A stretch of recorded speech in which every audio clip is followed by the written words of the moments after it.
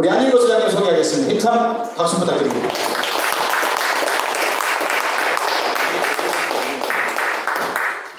아, 안녕하세요. 지금 너무 계시네요. 비 오는데 정말 고맙습니다. 예. 아, 마, 마, 마이크 안 써도 되죠? 아, 오늘 저 유튜브. 방송 때문에. 지금 목사님도 녹화. 아니 생중계하고 있어. 어, 생각해요. 정명진 TV가요? 정명진 TV. 아, 솔샘 TV? 솔샘 소리. 아, 솔샘 소리. 아, 안진걸 TV에서도 생중계해달라는 거. 나중에 녹화해서 올리겠습니다. 저, 선생님은 생중계신가요? 아, 녹화이고. 아무튼 솔샘 소리 TV를 나중에 이렇게 그 올라가면 그걸 또 안진걸 TV 올리면 또 많이들 보시더라고요. 네. 요즘은 다양한 방송이 많이. 여러분 너무 반갑습니다. 그 방송이나 강의할 때 이제 다른 지역에서 고향이 어디냐 가끔 물어보시거든요. 아 이게 호남 출신이라고 말하는 게 저는 늘 자연스럽게 자랑스럽지만 그 아직도 지역 차별의 지역주가 있기 때문에 저 모든 방송에서 제 고향은 한반도입니다. 딱 제목을 좀 답변을 드려놨습니다. 저는 남북 분단도 지역 차별도 용납할 수 없습니다. 한반도에서 태어난 게 분명한데 자꾸 어, 어, 특정적으로 이야기하려고 하느냐 이렇게 해서 제 고향은 한반도, 내 사랑 한반도 노래도 있었는데요. 어, 비 오는데 어떻게 이렇게 많이 오셨어요? 너무 고맙습니다. 어, 하순 초 중학교 다녔을 광진성고 다녔었습니다. 그리고 어, IMF 때 어, 어떤 건설에서 치겠는데 망해가지고 안 되겠다 이거. 야 이거 사람들 다 죽는다 망한다. 차라리 어, 민중들이랑 사회복지 아니면 너무나 많은 사람들이 노숙자로 전락하고 그 전에는 거지나 불안하라는 표현이 있었지 노숙자나 노숙이라는 표현이 어, 이렇게 대중화되지 않았습니다. 사람들이 그냥 오히려 낭만의 개념으로 노숙, 풍참 노숙한다는 말은 있었지 대규모로 어, 일반 시민들이 노숙자로 내몰리는 상황에서 노숙자 말 없었는데 전에서 노숙자가 너무 많이 나오고 용산역 서울역일 때뭐 수백 명이 누워서 죽으시던 게 저는 지금도 생생히 기억나면서 안 되겠다. 저분들과 함께 해서 차례인데 사회복지원회를 찾아가가지고 간사로 98년 12월부터 일을 하기 시작해가지고 참여연대랑 희망제작사 한 20년 활동했었습니다. 그때 이제 우리 여수 IMC의 IMC에 계시던 이하준 선생님도 만나고 김광진 전 간사님도 만나고 강영주 전 시의원님도 만나고 정말 많은 분들 만났던 기억이 납니다. 예, 요즘에 너무 사는 게 팍팍하고 힘드셔가지고요. 근데 어 어쨌든 어서 오십시오. 아유 비도 오는데 정말 고맙습니다. 어쨌든 근데 어, 대한민국이 얼마 전에 그 촛불 집회 때 장영달 전 의원이 오셔가지고 대한민국이 독재자 쫓아내는 데는 세계 최고의 나라다. 이승만도 쫓아내고 박정희도 결국 민중들의 분노가 그 부하가 어, 물론 그분에 대한 평가는 의상이냐 아니냐 뭐 여러 가지 평가는 엇갈리지만 부하가 나름대로 의거를 하기도 했고 우리 5.18년 민주항쟁, 6월항쟁 2008년 대규모 촛불 집회 그리고 2016, 17년 박근혜 대진 비상국민행동 이렇게 어, 쫓아내지 않았느냐? 윤석열 너 경고한다. 언제든지 널 쫓아낼 거다. 이렇게 노 정치인께서 그런 말씀 해 주시다 정말 큰 힘이 됐던 기억이 납니다. 그리고 어, 아까 이제 우리 목사님께서 전남 동부 NCC에서 우리 교계에서는 제일 먼저 윤석열 퇴진의 깃발을 올려주셔가지고 제가 오늘 이 피켓들만 보여줘도 한 두 시간씩 얼마 전에 우리 교단에서는 최초로 어, 한국 기독교 장로회 총회가 아, 여기 있습니다. 예. 지금 이제 교단 차원에서 결의는 아마 기장총회가 처음인 것 같습니다. 그래서 어, 서울 시내에서 집회하셨는데 신도님들까지 해서 천여명 안팎 모셨어요. 목사님들은 오랜만에 대규모로 수백 명이 모셨더라 그래서 어, 제가 오늘 강의 받아 갖고 왔습니다. 이렇게. 그래서 그다음에 이번 주 토요일 날은 어, 스님들이랑 우리 불교 신도들이 이제 어, 사재단에 이어서 기장총회 뭐 이제 동 전남도 NCC 그다음에 부산적 목회자 뭐 천여 명, 뭐 태진 산업 이어서 이제 스님들이 시국 법회, 야단 법설.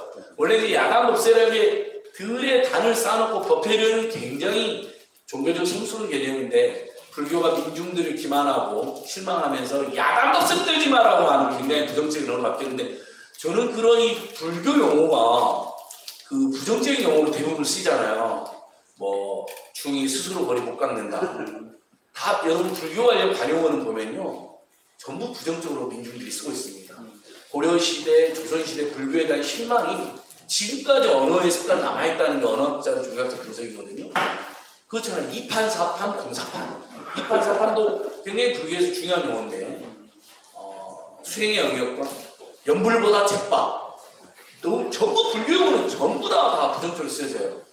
야이 화사! 세상에 스님 중에 가장 내공 깊은 스님이 화상인데 인간과 짠 사람한테 요즘 우리 화상이라 해보잖아요. 저는 전국 스님들 이 말을 들고 나다 벌쩍벌쩍 떨 거라고 생각해요. 아니 우리 최고 스님을 민중들은 지금 야이 화상을 인간 같지도 않은 새끼야 이래버리니까 얼마 스님들이 뜻 있는 스님들 지금도 가슴 아픈데 2000년대 초반 어느 날 저희가 이제 어, 전국의 모든 시민사회단체들이 부패방지법 제정운동을 할 때입니다. 당시 국가보안법 폐지를 했는데 그건 안 됐지만 부패방지법은 제정되고 국가인권위법은 어, 정말 지금 생각해도 김대중 전 대통령이 대단했던 것 같아요. 당시에는 뭐 저희도 비판도 많이 하고 그랬지만 부패방지법하고 국가인권위법을 결국 해냈잖아요. 정교조합 민노총을 합법화하고 그런데 저희들이 조계사 서울에 안국동에 조계사 앞을 지나면서 어떤 시민들이 저한테 왜 부패방지법은 국회가 못 만드는 걸까요? 제가 그랬거든요. 그래서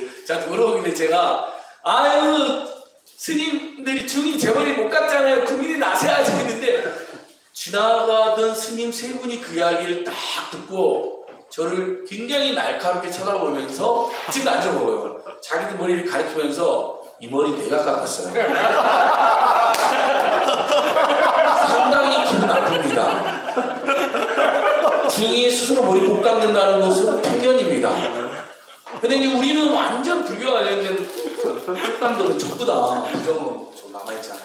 근데 정말 자- 잘못하면 요즘에는 이제 그 지위를 기독교가 계승하게 생겼어요. 제가 오늘 목사님 많이 계시거든요. IMC가 차마 말은 안 하겠지만 댓글에 보면 목사님들과 기독교를 풍자하는 단어가 굉장히 가성한 단어들이 많잖아요. 저도 저 서울에 있는 강남 향림교회를 열심히 다니다가 어, 지금 이제 냉담자처럼 제가 못 다니는데 아니 그 강남 향림교회는 제가 열심히 다녔어요. 좋았어요. 너무.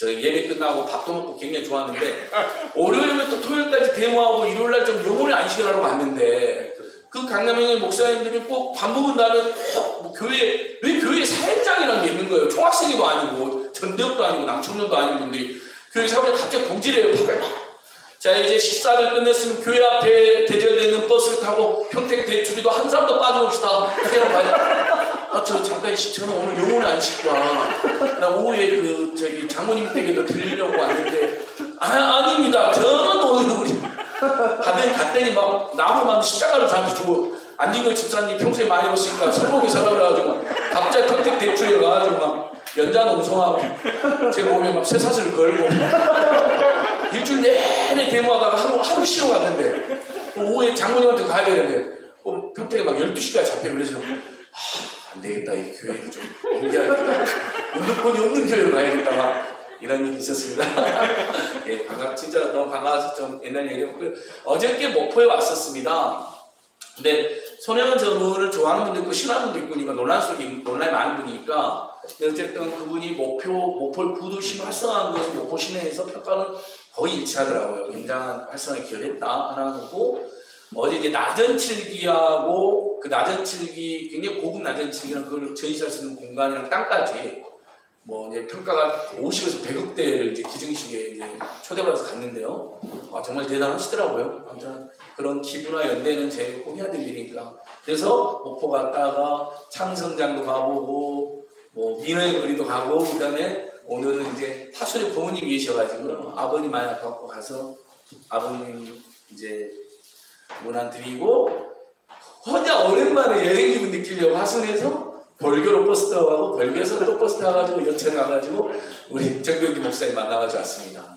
아 이렇게 진짜 오랜만에 맨 수용차나 막 정신없이 KTX로 데모하러 다니고 강의하러 다니는데 정말 우리 전남 이렇게 일대를 혼자서 나름대로 일반에서 너무 좋았습니다. 그래서 자연스럽게 5.18 때 생각이 나더라고요. 오늘 5월 18일이니까. 제가 그때 초등학교 2학년이었습니다. 저보다 이제 선배님들도 계시고, 일부 후배들도 계시고, 우리 조기한 선배님처럼, 당시에는 아직 대학생 전 8, 선배님 8, 5학번이신가요? 네. 그럼 이제 피 끓는 고등학생 때셨겠네요? 아니 아니, 아니, 아니, 중학생 때셨네요. 근데 저는 초등학교 2학년 때였는데, 그 공기라는 게 있잖아요. 동네 공기. 아, 그 가게 엄청난 난리가 생겼다고 그러는 거예요. 근데 어머님이, 아버님하고 부부싸움하고 광주 이모네 집에 계셔가지고, 어머님 없었어요. 그러니까 어머님이, 근데 하루만 있다 올라오고 그랬는데, 5.18 터져 모르시니까 어머니가 며칠 동안 일안 되겠다, 애들 밥 해주러 되니까, 그 부남 저수지에서 막 학살자 그랬잖아요. 버스가 통째로 죽고, 거기에 시신도 막 유기하고 그랬잖아요. 거기를 기어서 오셨어요. 아, 그때 이제 하수 사람 중에 관계했던 사람들이 버스는 안 나니까 너희째로 기어가 거의 기다시고 막 총소리가 들리니까 무서워가지고 저희들이 산만 밀려니까 밥을 먹이러 어머니 모셔갖고 아, 큰일 난리가 났다고 진짜. 사람들 막 죽었다고 기억나는데 이제 하순 하순 사거리에 경찰서가 있거든요. 어리째 거기에 이제 시민분들이 왔다는 거예요. 하순 그 은민들이 전부 시민분들을 응원하고 간 거예요. 저도 초등학교 2학년 때인데 다 동네 소리 나니까 갔는데 아직도 안 적어요. 정말 시민분들이 내려오셨어요. 하순 경찰서를 잠깐 갔어요. 무기가 있는지 보려고 근데 무기가 없더라고요. 근데 그 주황색 공중전화통이 남아 있었어요. 누군지 모르는데 어, 공중전화통을 누가 깨뜨렸어요. 그러니까 10원짜리 쏟아지더라고요.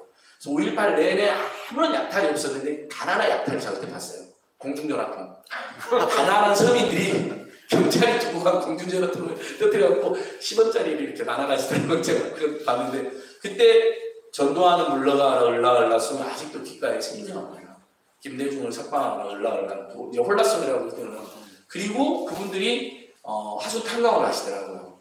무기를 확보하고 폭약이나 갔는데 어, 많이 확보를 못했다는 거예요. 그래서 다시 올라오시다가 또 갔더니 그때 그 정말 하순 인민들이 막 사이다 박스 그 다음에 바가지에다 밥이랑 김치랑 올려갖고 시민들한테 주던 게 지금도 생생합니다. 근데 어찌 된 일인지 89년 때까지 87, 6월 학년 때까지 다시는 어른들이 5.18 이야기 안 하는 거예요.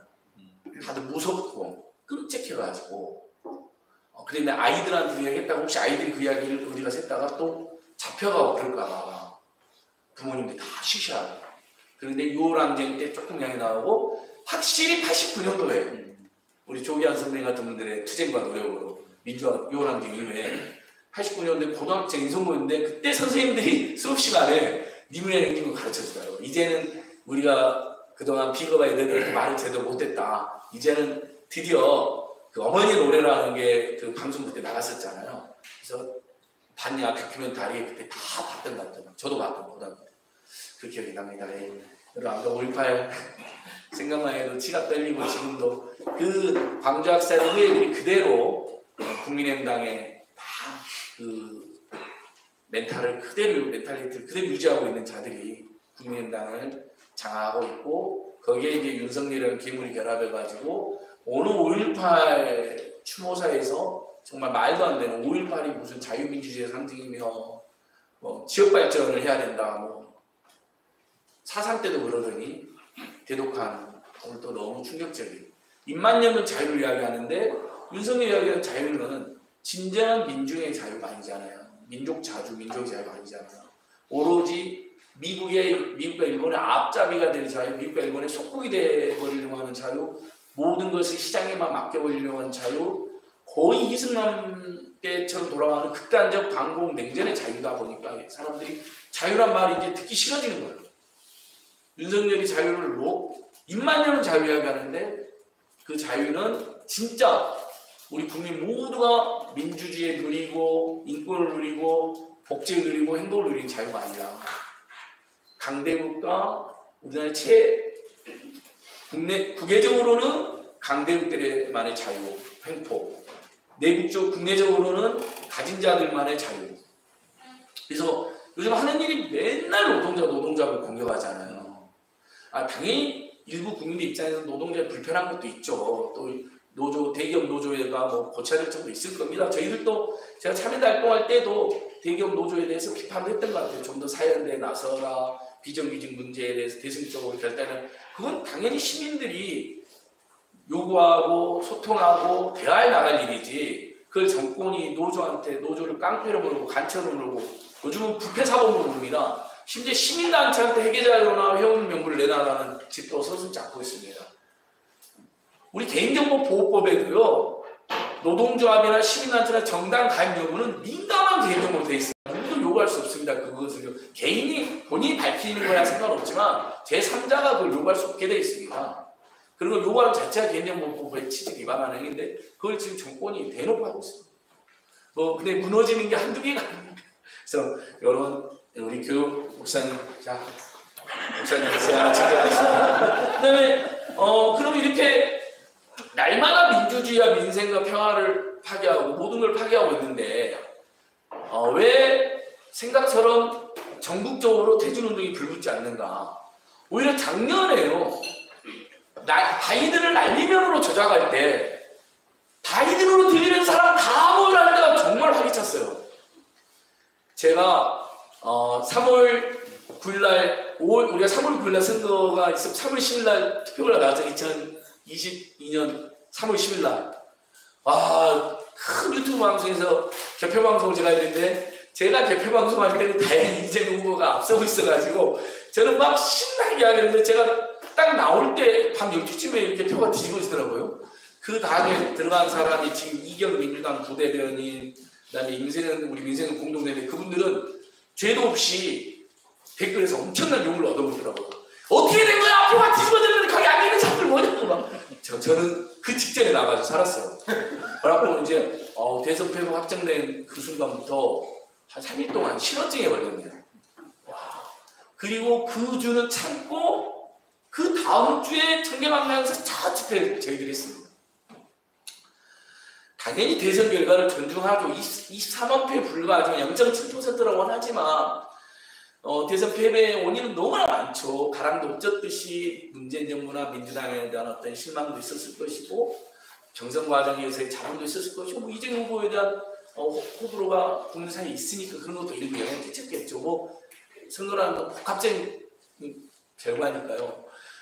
복귀하고 복귀해보면서 너무 한이 맺히는데 그래도 이래는 안 되겠다 해서 그주, 그주는 쉬고 그주는 또 대보라고 너무 그렇잖아요. 근데 와 나중에 알고 보니까 윤석열 당선된 날부터 퇴진시켜야 된다고 선언한 사람 느낌이 있었어요.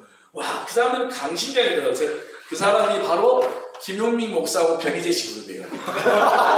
와 이분들은 그 다음에 이제 그 우리 시민사회 유튜브에서 가장 급진적이고 과격하다는 서울설 백은종 대표 그룹도 잠시 숨죽이고 계시더라고요. 저한테 연락이 왔어요. 안녕 소장, 그 데모는 바로 하면 좀 그렇지? 맞습니다. 대표님, 이주는 안 됩니다. 이주는. 이번 주말 나가면 대선 불복 세력으로 몰립니다. 우리가 뭐, 어, 이렇게, 그래서는 안 되잖아. 일단은 민심을 좀 보면서 한 2주나 3주에 시작했는데, 근데 그, 그날 바로 대선 날, 바로 김영민 목사님의 그룹하고 변희재 씨의 그룹은 바로 이 피켓 취지대로 얘는 모든 걸 조작하는 정치 검찰이다. 어떻게 대선됐는지는 모르겠지만 절대 인정할 수 없다고 이 사람들은 당선 날부터 퇴진운동을 선언했어요. 와 정말 대단하더라고요. 당시에는 좀 과하다는 생각도 있었어요. 저도. 그리고 제가 2주에 진짜로 청경왕년에 딱 모였는데 와 저 뭐 큰 집회 다 해봤잖아요. 2002년 우리 신미선 고, 고 신미선 신효순 촛불 집회 그두 분 여중생 장갑차에 미국 장갑차 그때 그때 처음으로 대규모 촛불 집회 우리나라 시작됐는데 제가 그때도 여중생 범대위에 참여됐다 파견을 간사했거든요. 2004년 노무현 대통령 탄핵 무효 국민행동 때도 파견 나가서 간사하고 2008년 이제 이명박에 의한 의료 민영화, 뭐 한반도 대우나 밀산 세우기 묻지마 수입 국면에서도 다섯 조직 팀장. 그때 그래서 제가 처음으로 구속이 됐습니다. 학생 때는 운이 좋아가지고 구속이 안 됐었어요. 와, 너 되게 운 좋다라는 선후배들에게 평가를 받았는데, 그때 이제 사회 나가서 이제, 그때, 야, 너 학생 때 엄청 피해 다니더니 드디어 구속됐다고 사람들 엄청 좋아하더라고요. 제 옛날 동료들 너도 좀 고생 좀 해야 된다고. 근데 감옥에 가니까 잠이 잘 안 오더라고요. 근데 그때 참으로 알았어요. 정말 책 중에 수면제가 있어요. 제가 그렇게 니체의 짜라투스트라타는 이렇게 말했다를 읽어보고 싶었거든요. 평소에 근데 시간 그걸 감옥에 가자마자 넣어달라고 그랬어요. 근데 그 책은 한 장 보기 전에 잠이 들어요. 지금도 혹시 불면증 있는 분들한테 그 책을 한번 보내주시면 짜라투스트라는 이렇게 말했다. 짜라투스트라는 고등학교 윤리책에서도 좀 배웠는데 저는 감옥에서 처음으로 짜라투스트라가 조로아스트라는 걸 알았어요. 근데 대한민국 교육은 정말 엉망인 거예요. 지금도. 조로아스터의 독일식 표현이라는 걸 아직도 대한민국 국민들 대부분 모를 거예요. 너무 다른 사람들, 발음이 너무 다르잖아요. 피타하고 베드로는 같은 사람이면 대충 알아도. 근데 이제 뭐 빼테르부르크, 그 러시아에, 어, 빼테르도 같은 사람이야? 피트르도 같은 사람이야? 하면 약간 헷갈리는데, 짜라투스트라가 조로아스트라는 건 정말 제가 꿈에도 몰랐거든요. 근데 가- 감옥에 누가 챙겼는데 그게 써져 있더라고요. 우와, 그걸 아는 것만으로 너무 기쁘더라고요. 아, 그랬구나. 근데 한 장을 못 넣는 게 너무 어려워요. 니체가 책을 너무 어렵게. 그래서 혹시 불면증 시달린 분들은. 네, 그래서 그때 감옥 갔다 오고, 또 2006년에 FTA 반대 범국민운동도 하고, 아니 2010, 그게 2000, 아 7년입니다. 7년도쯤에 그 있었고, 그 다음에 2010년도에 반값 등록금 국민운동이 거치게 있었어요. 오랜만에 대학생 포모들이 대규모, 그때도 제가 어, 사무처장으로도 일하고 이제 모든 대규모 집회는 제가 신고를 했었습니다. 그리고 박근혜 퇴진 비상국민운동 때 대변인 겸 상임 운영위원 하고 그리고 어, 지금은 전국 시민사회단체들이 아직은 머뭇거려가지고 어, 촛불행동 이제 전국 촛불행동에 가입이 많이 안 돼 있습니다. 근데 이제 백수십 개 단체에 가입되어 있는데 뭐 언소주나 민생경제운송 같은 단체 가입되어 있습니다. 근데 우리 이제 YMCA나 민배나 참여대 아직 가입 안 됐는데 뭐 촛불행동에 가입할 필요는 없을 것 같아요. 탄이 어떻게 가냐면 촛불행동은 지금까지 촛불집을 열심히 한 것으로 큰 일을 했고요. 지금 이제 민주노총이 지난주에 윤석열 정권 퇴진 선- 선을 공식으로 했거든요. 그 다음에 이제 어 올해도 뭐 진보당 당원 있을 수도 있고 아닐 수도 있는데 진보당이 야당 중에는 처음으로 아직 다른 어떤 야당도 윤석열 퇴진을 외치지 않고 있습니다 공식적으로. 그러니까 왜 2010년처럼 지금의 촛불 집회가 커지지 않느냐고 답답해하는 사람이 많은데 몇 가지 주객관적인 굉장히 차이였습니다. 그때 이렇게 제가 면밀히 보니까요. 일단 2010년대는 모든 야당이 다 달려들었잖아요. 안철수 대표님 오셨던 기억이 제가 생생합니다. 국민의당 그분들이 막 그래서 발언 안 시켜준다고 막 저한테 항의를 하더라고요. 그래서 아무도 발언 안 하셨습니다. 정치인들은. 근데 첫 번째 집회 때만 이재명 성남시장과 노회찬 전 당시 대표님이 발언했다. 첫 번째 집회 때는 너무 그 언급결에 생긴 집회에서 두 분이 정치인으로 올라갔는데 그 후로는 정치인이 올라가는 게 안, 안 좋겠다는 심대 의견으로 정치인이 진짜 발언 안 했거든요. 안철수 대표님 오랜만에 오셔가지고 발언 시켜달라고 했는데 양해 구했던 기억이 납니다. 그 국민의당 심지어 그때 당시에 어, 국민의당 박근혜 찍은 사람까지 다 나왔잖아요. 그다음에 정부의 노동 시민단체들이 모두 박근혜 퇴진 비상 국민운동을 만들었는데 그때 제 기억이 정확한 2,300개 단체가 참여했습니다. 그러니까 전국에 있는 웬만한 뭐 보수 단체를 빼놓고는 시민사회 블록에는 모든 진보, 중도, 노동, 농민, 뭐 종교, 전교조, 농민의 집까지 다 가입하면 2,300개쯤 됩니다. 대한민국에 저 제가 드린 오늘 강의 자리에 보면 실제 시민사회 단체는 한 만여 개 정도 NGO나 NPO를 합치면 만여에서 2만여 개 정도는 추정이 됩니다. 지구까지 하면요. 근데 이런 큰 대규모 vận動이 있을 때 데모까지 참여한 단체는 한 2천여 개 안팎이라고 보시면 될 것 같아요. 근데 그게 엄청난 저력입니다. 일본과 큰 차이죠. 일본은 그게 없어요. 이 중앙정부가 아무리 우경화되고 군국주의화되고 과거살민해도 일본에서 그 맞서는 강력한 시민사회가 없고 지방 풀뿌리 지방조직이 활성화되어 있다 보니까 일본의 사회운동가들도 엄청 답답해 하시죠. 지난주 토요일 날 촛불 집회 때는 일본의 사회운동가가 무려 22분이 오셔가지고 한미일 군사동맹 결사 반대 전쟁 부른다. 일본의 우경화다. 그다음에 오사, 그 후쿠시마 오염수 방류도 절대 안 된다. 그 자리에서 한국 그 도쿄 전력 앞에서 데모하신다고 밝혔거든요. 근데 실제 뉴스에 나오더라고요. 토요일 날 집회 때 도쿄 전력 앞에 가서 시할 거다 대규모로 그분들 밝히고 갔거든요. 근데 실제 도쿄 전력 앞에 일본 시민들이 수백 일본 시민 일본은 우리는 수백 명이 좀 우습잖아요. 막 수십만 수백만 일본은 수백 명도 쉽지가 않아요. 한 천여 명 앞에 도쿄전에 모여서 월요일 방송선 안 된다라고 집회하셨더라고요. 그러니까 이런 연대도 제가 계속 해야 되는데 2016년하고 지금 결정차이는 일단 야당들이 결정을 못했다는 겁니다. 근데 진보당이 그나마 야당 중에는 사실 아웃은 퇴진일까요 아닐까요?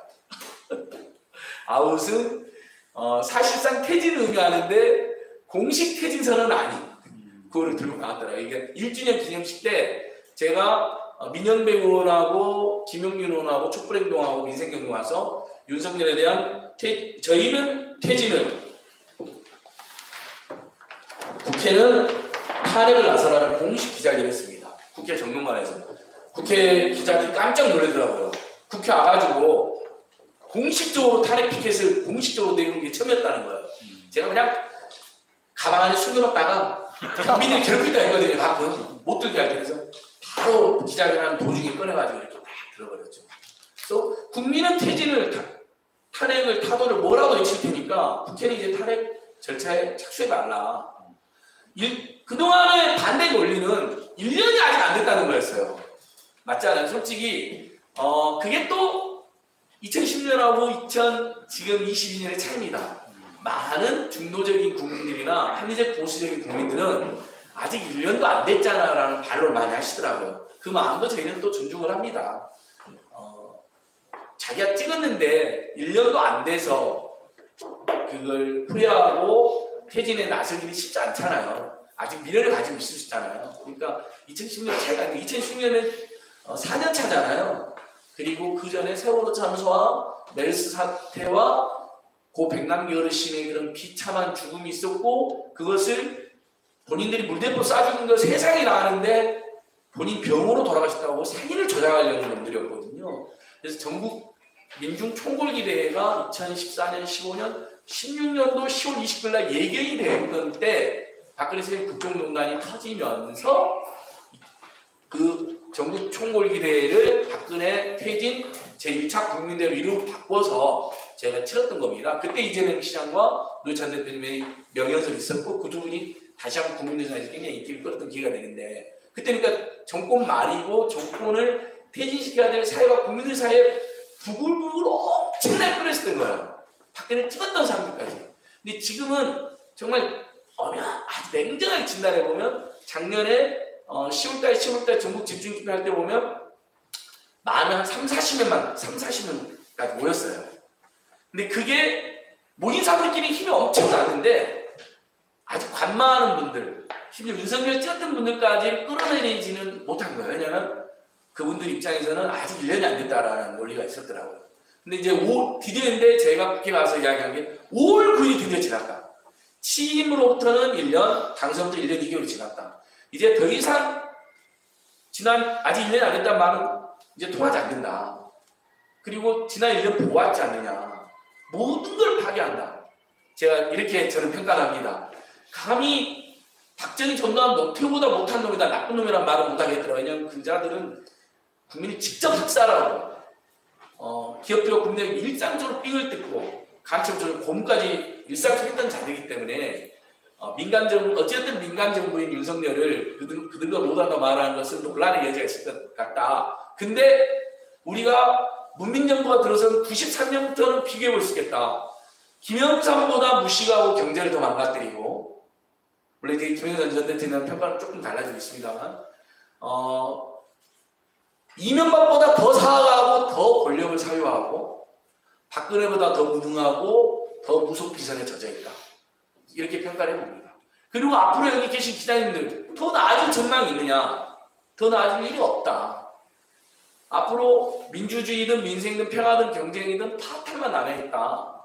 제2의 IMF 올 수도 있고 심지어는 전면전 아니라도 국지전이 발생할 수 있을 것이고 독도 주변에서 일본 자위대가 훈련하고 잘하면 한반도 상륙하겠다. 이런 상황이다 지금. 그럼 이제 끌어내리는 일밖에 남아있지 않다. 그래서 이제 어, 문제가 됐던 1년이 아직 안 됐다는 것은 이제 그 문제를 해결했습니다. 근데 아직도 야당이 결정을 못했어요. 그 다음에 전국의 모든 시민사회단체들이 집결해야지 100만 명, 200만 명의 에너지가 생기는데 촛불행동으로는 그 틀이 한계가 있습니다. 촛불행동은 선도적으로 처음에는 이제 당선 어, 2주부터 규탄 집회를 시작해서 나쁜 짓 하지 말아라고 당선되자마자 기자회견할 때 그 옆에 있는 현역 국회의원 한테 야, 야 하고 소리 지릅니다. 윤석열이. 그때부터 뻔한 거죠. 국민 어, 헌법기관 국회의원한테도 막 반말로 삿대질 하는데 당선 기자회견에서 그게 잡힙니다. 윤석열의 그 오만 방자하고 어, 한동훈하고 윤석열하고 천하 제일의 식은방 오만 방자 아닙니까? 한동훈만 보면 강훈이를 가장 싸가지 없는 놈이라고 합니다. 예, 그, 그 말보다 더 좋은 설명이 없잖아요. 강훈이를 가장 싸가지 없는 놈 한동훈. 내가 뭐 그동안 정치권에 싸가지 없다는 유시민, 뭐 김기식 다 있었는데요. 비교가 안 됩니다. 아, 한동훈만 생각하면 저 도들도들 분노가 생기는데요. 아, 근데 이제, 그래서, 어, 이제 1년은 이제 지났습니다. 근데 야당들이 나서야 되잖아요. 민주당, 정의당, 어, 기본소득당 아직도 퇴진이 결의 안 됐습니다. 이게 2016 결승. 기본소득당은 저희 다음에 기자회견 하더라고요. 용해인 의원이요. 기본소득당의 워딩은 탄핵 요구가 자연스럽게 나오고 있다요. 탄핵을 요구한다가 아니라. 그러니까 아직 기본소득당도 어, 민원보다는 지모정당이라는데 탄핵이나 퇴진을 공식 요구하지 않습니다. 정의당은 물론이고요. 정의당은 심각한 논란에 입사했죠. 윤석열이랑 제대로 대응을 하는 거냐? 아니면 윤석열을 오히려 타협하는 거냐? 이런 논란가 있으면 정의당은 그걸 기대를 하기 어려울 것 같고요. 근데 이제 어쨌든 진보당은 아웃. 아웃은 퇴진 의미하지만 공식 퇴진 요구는 아닌 거죠. 근데 이게 이 아웃 구호가 나오는 과정이 재밌습니다. 전주에 전주에 안해욱 후보가 나왔잖아요. 안해욱 후보가. 저희들이 이제 지원하러 갔습니다. 전주까지 저도 가서 유세도 하고 막 그랬는데요. 안해욱 후보는 처음부터 끝까지 선거운동 딱 시작하고 1%를 얻으신 분인데 이건 한국 역사상 처음 있는 일입니다. 뭐 타, 타 지역분이, 대구분이, 전주에 아무런 연고도 없고 그 다음에 선거운동 딱 시작했고 공약이 하나도 없어요. 뭐 여수 순천에서 수도 없는 많은 선거 보셨고 뭐 정말 여수 순천 광양이 또 호남에서는 표심이 좀 다르게 나오기도 하잖아요. 뭐 순천에서 이전이 되기도 하고 뭐 굉장히 고민이 많은 지역이잖아요. 이 지역이 민주당에 대한 실망도 있었고 그 특정 정치인들이 막 자기들 싸우는 거에 대한 뭐 제가 좀 압니다. 여수 순천의 그 정치 상황. 그리고 근데 아, 그래도 아무래도 얘가 지역 발전 공약했잖아. 안해운 구을 광양 진짜 없어요. 지역 발전 단 하나도 없어요. 그게 선거에서 물어봐요. 지역 발전 공약 없으니까 여기 계신 분, 여기 계신 분들 거로 할게요. 답이 너무 간단해요. 그걸 왜 나한테 묻습니까? 나는 윤석열 퇴진시키려 하는데 윤석열 개새끼야! 방금 농성에 그 소리 지르면서 내 공약은 이겁니다 하는 분인데 그러니까 지역 발전 자꾸 물어보니까 아니 여기 계신 분왜 나한테 그걸 묻냐고 난 퇴진시키러 온 사람인데 그럼 여기 있는 분들 보니까 공약 다 좋네요. 나 그걸 할게요 당선되면.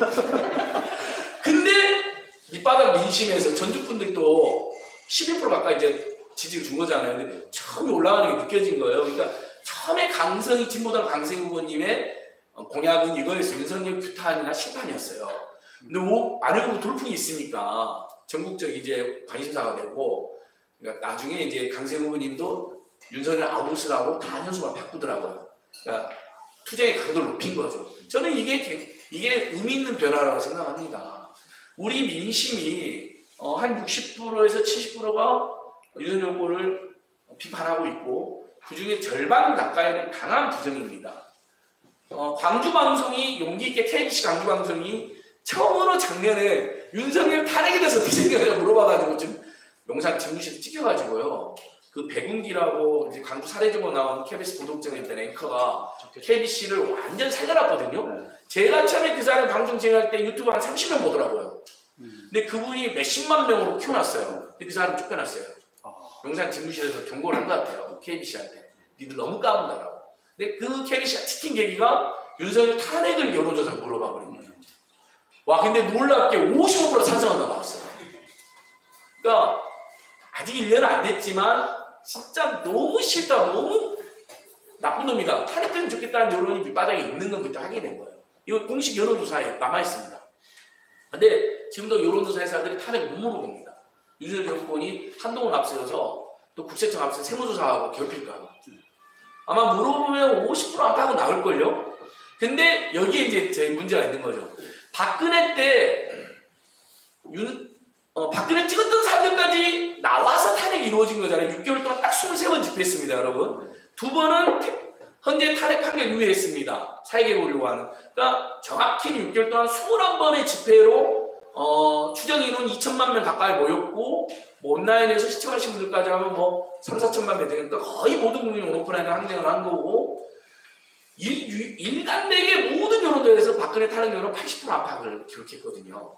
그러니까 아직은 그 정도까지 우리 국민들의 분노나 인내가 그러니까 분노가 치솟고 인내가 바닥이 나야 되는데 어, 아직 결정을 못하고 있고 그렇게 1년 내에 노동 탄압을 당하고 간첩으로 몰리고 깡패로 몰리고 부패사고로 몰리고 횡령사고로 몰렸던 민주노총마저도 결의가 안 된 상태였으니 탄핵 여론이 그 상황에서 정부의 시민단체가 결합했는데 탄핵 여론이 50% 55%가 나온 건 저는 기적이라고 생각을 해요. 그 정도로 미- 민심은 분노가 컸다고 봅니다. 오히려 야당이나 주요 시민단체들이 그걸 제대로 어, 받아안지 못했다 이렇게 봅니다. 근데 그걸 지금 탓해봐야 뭐 하겠습니까? 이미 1년이 지났습니다. 이제 하고 1년 1개월째잖아요. 이제 6월 9일이 1년 1개월이니까요. 그래서 예를 들면 민생경 제가 이제 참여했는데 20년 그만두고 어, 2018년 4월에 민생경연구소를 요즘 방송에서 잘 나가는 임세은 씨하고 공동으로 만들어가지고 첫 번째 혼수성 태 김성태를 고발한 걸로 일을 시작했는데요.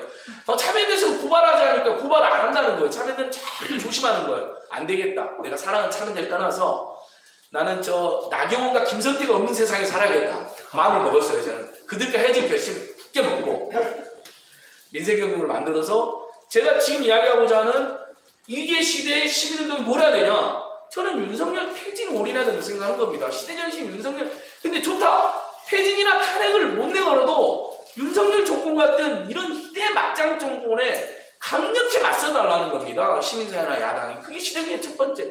두 번째, 갈수록 더 심해지는 이 민생과 불평등 양극을 해서 지금 대한민국 소멸, 대한민국이 앞으로 소멸되는 첫 번째 국가라고 영국에서 조사 결과 나와 있습니다. 지금 출생률이 7명 안팎이잖아요.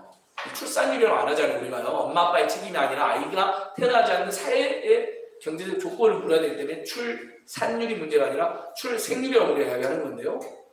진짜 이대로 가면 대한 누가 노동을 하고 세금을 내고 어르신들 복지를 하고 연금을 받쳐줍니까? 큰일 났습니다. 근데 어, 세종시 출생률이 세종시 출생률이 유일한 우리나라에서 두 명입니다. 엄마가. 공무원들과 정규직들의 애를 둘 가까이 난다는 게 통계로 밝혀졌습니다. 비공무원, 비정규직, 서민, 중산층들은 물론 문화적인 이유나 부모님의 성향의 차이로 아이를 안 낳는 경우도 있고 그들에게 우리가 출생을 강요할 수는 없는 거라고 저도 생각하지만 낳고 싶은데 못 낳는 사람들이 50% 안팎이라는 게 통계에 계속 잡힙니다. 그러니까 안정된 직장, 주거, 급여 소득이 없기 때문에 내가 아이를 낳아도 나도 헬조선을 거쳐왔는데 우리 아이에게 그런 고통 주고 싶지 않다. 요즘 청년들하고 서민들 사이에서 여러분 거지방이라는 게 유행합니다. 거지방. 무일푼 challenge는 들어보셨죠? 그러니까 돈 안 쓰고서 일주일 살자 무일푼 challenge, 무지출 challenge는 좀 알려졌어요. 한 단계 더 나은 게 거지방입니다. 거지처럼 돈한푼 쓰지 말고 살자는 거예요. 얻어먹고 살자는 거예요. 그래서 그 외에 카톡방이 자기들이 만들어서 수백 명씩 들어와서 그 노화를 나누는 거예요. 그 거지방에 너무 슬픈 분들이 많습니다. 편의점에 가서 담배를 하나 살라 할때 제일 싼게 4,500원이면 어떡하죠 그러니까 댓글에 이제 그 조언을 해줘요. 담배를 뭐하러 사냐 이 양반아. 4,500원이 어딨냐? 바로 당장 길거리 흡연실로 달려가라. 간접의 문으로 그 떼어라. 그 사람이 어, 너무 좋아! 그런 아이가 생겨 그러니까 뭐 간접의 자기가 막 이제 또 막 인증샷 올려. 아 이거 같다 이거 같다 막 이러고 막 올려갖고 막 이러잖아. 편의점에 생수가 뭐가 제일 싸냐 마트가 제일 싸냐 그러니까 뭐 롯데 아이시스가 싸다 1%씩 막 하니까 베스트 답글이 이겁니다. 아, 미친놈아 왜 생수를 그런데 사 야 직장에 가. 가, 피팅 가 물을 받아. 직장에 그러니까 직장이 없다 그러니까 은행에 가. 은행 가면 물, 물통 있어. 공공기관 다 물통 있잖아요 주민센터나. 그러니까 돈을 절대 안 쓰고 사는 법을 사람들이 알려주고 좀 풍자하면서 웃기고 동료하고 이러는 거예요. 지금 작년 상반기에만 우리나라 국민들이 당근마켓에 600만 명이 가입했습니다. 작년 상반기에 6개월 동안에 다왜 당근마켓에 가입하겠습니다. 한 푼이라도 아껴서 사고 집에 있는 물건 팔려고 만복이 지금 엄청나게 유행합니다. 처음에는 만복이 건강 때문에 유행했거든요. 지금 사람들이 웬만한 대중교통 이용 안 하고 만복으로 걸어 다니려고 그리고 그러면서 걸음 체크하고 만복 걸으면 100원도 주고 140원도 주고 그래요. 저도 토스 만복이 깔았는데 하루 한 저는 한 200원 정도 버는 것 같아요. 토스 만복이로. 다 다녀요. 이제 다니고 뭐 퀴즈도 중간에 풀고 그럼 한 200원 정도. 그럼 30일 6,000원. 적진 않잖아. 커피 한잔 나오잖아. 아니 이렇게 산다니까 지금 선생님들이요. 근데 예전에 박근혜 때 우리가 헬조선이라 했을 때는 정말 양극한 불평과 민생고에 대한 또는 뭐 세월호 참사에 대한 그런 것 때문에 약간 추상적으로 헬조선이라 그런 거예요. 근데 지금 국민들이 매우 구체적으로 무일푼 챌린지, 무질푼 챌린지, 냉장고 파먹기, 냉파, 냉장고를 딱 열어서 깊숙이 있는 거 여러분 유통기한 지나 있는데 얼려 있는 것들 있잖아요. 그걸 다 이제 해서 먹는 거예요. 부엌을 뒤진다. 냉장고를 파먹자. 이렇게 이제 각자 도생. 윤석열 정부는 무정부 상태다. 정부가 없다. 경제 민생위기에 무대책, 속수무책, 공공요금 급등 대책 말고 내놓지 않는다. 이렇게 된 거거든요. 지금 실제 여기 계신 분들도 이자 다 올랐잖아요. 어, 현재 가계부채가 2천 조인데 우리가 부- 가정수가 한 2,300만 가구 되거든요. 그래서 1인당 집집마다 가계부채가 실제 평균 8, 9천만 나왔어요. 딱 1차잖아요. 2천조, 그 다음에 2,300만 가구 나누면 가게마다 평균 부채 8천만 원, 9천만 원 딱 나옵니다. 이 부채가 있다는 건 반드시 이자가 있다는 의미하는데 최근에 이자율이 급등했잖아요. 얼마나 힘듭니까? 그러니까 어, 주택담보대출 작년에 이자가 제일 올라갔을 때 주택담보대출 5억 받은 사람이 한 달에 정확 이자를 333만 원 냈습니다. 금리 8%까지 치웠었을 때. 그럼 월급 받아서 이자 다 갖다 주는 거예요. 그래서 최근에 저희가 어, 요 이제 민주당이랑 같이 캠페인한 건데 기준금리 2.25% 이상할 때 은행 순이익 56조 이자로만 그 다음에 은행은 이자 장치, 국민은 이자 복구 당시 시험관 금리 그래서 국민들이 요즘 금리나 요건에 대해 굉장히 관심 많이 가져 있습니다. 어, 대- 모든 대출 금리에 대해서는 금리 인하 요구할 권리가 있습니다. 2019년에 문재인 정부가 법제화를 해놨습니다. 그전에 약관에 있었는데 잘한 거죠. 그러니까 여기 계신 분들도 내일 당장 언론사에 아니 금융기관에 앱 저기 스마트폰으로 다 할 수 있거든요. 금리 인하 요청할 수 있습니다. 근데 이제 어, 시- 신용도가 상승했거나 승진했거나 상속을 받았거나 증여를 받았거나 뭐 비정규인데 정규됐거나 월급 올랐거나 이런 요건이 있어야 되긴 합니다. 근데 저희는 그 요건에 어, 코로나나 IMF 같은 사태가 생기면 금리가 너무 부담되니까 상가 임대료라든지 등록금은 인하할 근거가 생겼거든요 법에서요. 코로나 같은 상황에서 인하 요구할 수 있다라고. 당연히 금리 인하에도 그게 적용되는데 안 돼 있어요. 그 정도로 대한민국 금융 자원화 되어 있고 금융기관이 힘이 셉니다. 법- 작년에 제가 코로나 때 입법운동 하면서 지금 코로나 같은 상황이 터지면 상가 임차료 주택 임차료 등록금 다 인하를 요구할 수 있다라고 법에 들어갔어요 근데 우리가 여야 의원들한테 똑같은 이치로 금리도 요- 인하 요구를 해달라는 그건 안 들어갔어요. 그 정도로 금융기관이 일상적으로 국회를 로비를 하고 밀착되어 있습니다. 밀착되어 있습니다. 그러니까 진짜 시민생활 할 일 엄청 많습니다. 그러니까 시대정신 두 가지입니다. 하나는 윤석열 아니 퇴진 탈핵 안 해줘도 좋습니다. 아직 결정이 안 됐는데 그 이른바 한국노총한테 대한IMC 총연맹에 참여 제가 참여 사무처장까지 하고 18년 됐는데 제가 참여인데 다 짜서 쫓아가서 니는 왜 퇴진 투쟁 안 해? 왜 안 나와? 이럴 수는 없잖아요. 왜냐면 다 단체마다 고민이 있잖아요. 그리고 내부 토의를 거쳐야 되잖아요. 되게 큰 단체일수록 그 시간이 걸릴 거라는 거죠. 근데 그 요구는 알수 있죠. 참여대원들이 그 요구를 하더라도 참여했는데 검찰 개혁을 강력히 해라. 그래서 참여대가 이번에 잘한 거예요. 한동훈, 윤석열 퇴진은 안 해쳤는데 제일 싸가지 없는 관료 8명 뽑았는데 한동훈 1등 해버린 거 아닙니까? 그러니까 참여연대나 민변이 퇴진 투쟁 안 나도 된다니까요. 저는 그게 서운한 게 아니에요. 당연히 그 고민이 있는 거잖아요. 아직 결정을 못하고 있는 건데 양대노총도 마찬가지고 그리고 촛불행동이라는 틀이 아직은 자기들이 신뢰할 수 없는 틀이라고 생각할 수도 있고 그래서 이제 그, 그 문제는 전국에 지금 비상실회의가 생기고 있거든요. 어, 풀뿌리 조직까지 다. 그러면 퇴진운동은 촛불행동, 그 다음에 언로와 종교인들, 전직 정치인들의 전국 비상실회의 이 각각의 틀이 생기는 거예요. 그 다음에 양대노총과 민변참여연대 등이 들어 있는 이쪽이 이제 전국 민중행동 14단체인데 이렇게 이 세 조직이 6월이나 7월에 윤석열 퇴진한 범국 면모를 만들자라고 제가 제안을 하- 하고 있습니다. 그러면 그때는 이제 전국에 많은 시민 노동단체들이 들어올 겁니다. 그럼 지금보다는 훨씬 더 어, 한 단계 업그레이드된 퇴진 운동이 가능할 거라고 보고 있습니다. 근데 이제 참여, 다시 참여 돌아와서 퇴진이나 탈핵 잃지 않아도 시민사회가 자, 8명을 뽑은 거예요. 가장 문제 있는 거는 사유를 제시해서 국민 투표를 한 거예요.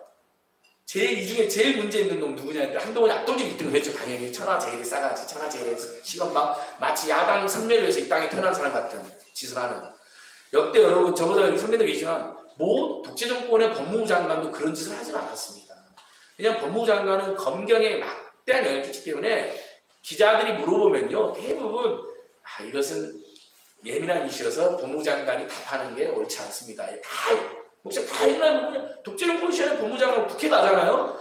뒤에서 고문하고 사람 죽이고 간첩 조작해도요. 국회 가면 그래도 국회의원들한테 무시 들읍니다. 말이라도 그냥 하, 뭐 의원님 존경하는 의원님 그 날카로운 질이 고맙고 그러는 한동훈이 있어요. 아 여기다가 지금 의원님 저한테 이러시는 겁니까? 그럼 의원님 때 그러지 않았습니까? 완전히 이런 깐족 아나 아, 나 어떡하죠? 제가 성격 굉장히 좋다는 평가를 받았는데 한동안 윤석열 때문에 제가 성격이 나빠졌어요. 입만 열면 욕이 나오고 막 사방팔방에서 막 예, 죄송합니다. 예, 그래서 그러니까 그게 참 옛날 잘하고 그러니까 한동이가 그 깐족이 싸가지가 참지 못하고 일국의 법무장관한 자가 일개 시민단체에서 힘을 걸어가지고 국민들 사이에서 아 쟤는 정신병이 있구나 하고 다 느껴졌잖아요. 참여연대가 그 발표했다고 언제부터 니들이 중립인 척했냐 정치단체면서 참여연대 시비를 건 거예요. 참여연대가 그 반박하니까 또 어느 국민도 참여연대를 공정하다고 생각 이렇게 또 말하는 건데 참여연대가 다 반박 일일이 또 반발하는 거예요. 일국의 장관이 어떻게 일개 시민단체 이렇게 일일이 나오라시냐 바쁘신 분이 그래가지고 어, 중도적인 국민들이 보기에 아 한동이 문제가 있구나 얘는 조그마한 비판도 참지 못하고 무조건 달려드는구나 부들부들 떨면서 갖고 국민당 내부에서도 한동훈에 비판이 많이 제기된답니다. 어, 중도층 사회에서 굉장히 네가 비호감이다. 너 가만히 있어. 그래서 친구를 한동훈 좀 가만히 있었던 거예요. 근데 이제 참여연대를 보고 참지 못하고 성질이 터진 거죠. 그다음에 민변의 송교 변호사님이 계속 론스타 사태나 후쿠시마 오염수 사태로 정부를 비판하니까 법무부가 나서서 송교 변호사 지금 민주당 송파 위원장을 맡고 계신 합니다. 너, 다, 너 민주당이지 하면서 법무부가 송기호라는 개인 변호사를 공격하는 보도를 했습니다. 진짜 나쁜 놈들입니다. 최소한의 금도도 원칙도 없습니다. 그러니까 우리 이제 약간 또 우스갯소리로 우리 변희기 씨가 좀 해줘야 되는데 변희기 씨가 이제 매불쇼라는 프로그램 이 사람 나가면 뭐 100만, 200만씩 본 프로그램인데 이분이 이제 이럽니다. 막 최욱 씨랑 아니 국민 여러분 송기호 아세요? 당연히 송기호는 잘 모르죠. 여기 계신 분들 지금 송기호를 처음 들어보고 있잖아요. 운동권들은 다 아는, 아는 유명한 아니라 국민이 잘 모르거든요. 근데 그분은 뭐 유튜브 해도 뭐 500명 넘어 막 그래요. 최욱 씨하고 비니 씨 그러더라고요. 우리는 뭐 보면 뭐 수백만 명씩 보고 입만 열면 한동훈 너 정치검찰이다. 사건 조작했다. 너 박근혜 최순실 때도 일부 조작했고 이재명도 조작하고 넌 날마다 조작만 한다. 야마 심지어 너는 가발인데 국민을 속이고 있지 않냐? 왜 공직자의 쉽게 이렇게 솔직하지 못하냐? 막 한동 최욱 최욱은 안 그랬는데 변희 씨 그게 방송을 해요. 그게 수긍을 많이 이러면서 심지어 이렇게 하더라고요. 야 MC 장훈 MC 장훈이라는 한동이 고발했거든요. 야 MC 장훈 같은 약자들 고발하지 말고 송교 변호사한테 국민 모르는 사람 건드리면 나를 건드려. 야 임마 나 고소해. 근데 한동훈이가 진짜 희한하게 변희재가 수백만 명, 수천만 명에서 방송 그렇게 하고 공문 보내고 너는 조작검사다, 범죄자다 하는데 변희재 이야기를 일절 꺼내질 않아요. 그래서 아마 실제로 이제 저희 느낌으로는 어, 윤석열 아니 박근혜 퇴진 비상국민 박근혜 퇴진 국면 때 태블릿 PC가 두 개가 있었습니다. 문제가 되는 게. 근데 지금 여기 계신 분들은 다 JTBC보다 태블릿 PC만 기억이 나잖아요. 저도 하나인 줄 알았어요. 근데 다시 국게 보니까 장시호가 임의로 윤석열 한동훈 수사 사태 매제주한 태블릿 PC2가 있어요. 최순실 거라고. 근데 그때 담당이 한동훈이었는데 요걸 최근에 사, 사이버 포렌식학에서 해보니까 어, 그 태블릿 PC를 상당히 검찰이 손을 댄 거예요. 그러니까 증거로서 쓸 수 없을 정도로. 그러니까 저희 추정으로는요. 요건 오늘 뭐 쟁점이 아니니까 그냥 소개만 할게요. 논란도 있는 주장이기 때문에. 이제 변희재 씨네 그룹은 PC 온도가 다 조작됐다는 거고 저희는 태블릿 PC2를 윤석열 한동훈이 살짝 장난을 쳤다. 최순실을 완전히 악마. 왜냐면 최순실 태블릿 PC 온이 자기 뜻이 아니라고 하니까 야 무슨 소리야. 태블릿 PC2도 또 나왔어. 네 조카가 됐어. 이러려고 어, 짓밟으려고 원래 기자들이 조작이 조작 잘하잖아요. 노무현 때부터 한명수, 조국, 지금 문재인 정부, 지난 정부 서해안 사건 아 여러분 제가 이그 안에 그 얼마 전에 해경 간부가 연락이 왔는데 진짜로 막 술 먹고 약간 울면서 연락을 했어요. 서해 공무원 그 피살 사건 있잖아요. 그럼 북한이 명백히 잘못한 건 맞습니다. 당연히 비판해야죠. 근데 그 당시에 그 사람이 해경수사 책임자로 자기 정말 양 모든 양심으로 올북이 추정된다는 건 정말 SIM 감청 정보가 있었기 때문에 그리고 자기가 조사했기 때문에 올북 추정된다. 올북으로 단정하지 않고 올북이 추정된다고 한 것뿐인데 이 사람이 지금 감사한 감사를 10번 검찰 수사를 10번 받았는데 그 사람이 술 먹고 전화하고 정말 자살하고 싶대요. 근데 검찰이 묻는 건 딱 하나 그러니까 여러분 이재명 수사도 전부 다 저는 조작이라고 생각합니다.